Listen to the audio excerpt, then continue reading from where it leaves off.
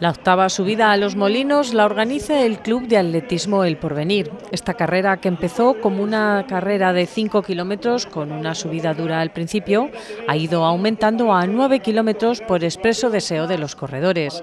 Es una carrera solidaria a beneficio de los niños con cáncer. Son 150 participantes este año. El año pasado fue la primera que se hizo presencial porque no se había hecho ninguna. Entonces es un club que, es muy grande, tenemos mucha gente y bueno, hacemos senderismo, hay mucha gente andando y corriendo porque la prueba de hoy se puede hacer de las dos formas, se puede correr y se puede andar. Entonces pues viene más gente y, el dinero, una parte del dinero que se recauda es para la asociación, las supernenas lo tramitan, pero es para los niños con cáncer.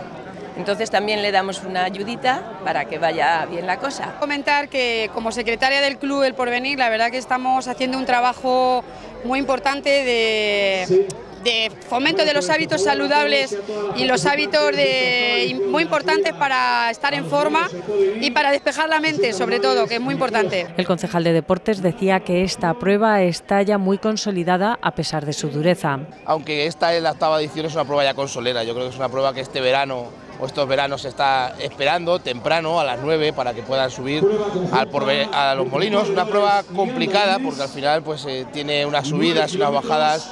No es muy no es muy, por así decirlo, técnica en el sentido de, que tiene subidas y bajadas muy complicadas, pero sí que son duras y difíciles. Y está muy bien, son 9 kilómetros, que al final también es una prueba eh, casi casi parecida a lo que es la, unas pruebas de las que se hacen eh, relativamente populares, eh, casi, 200 200 participantes. Creo que es importante también destacarlo, el trabajo que viene haciendo en el Club Deportivo El Porvenir a la hora de realizar este tipo de pruebas. Casi 200 participantes realizaron esta prueba deportiva y nuevamente solidaria.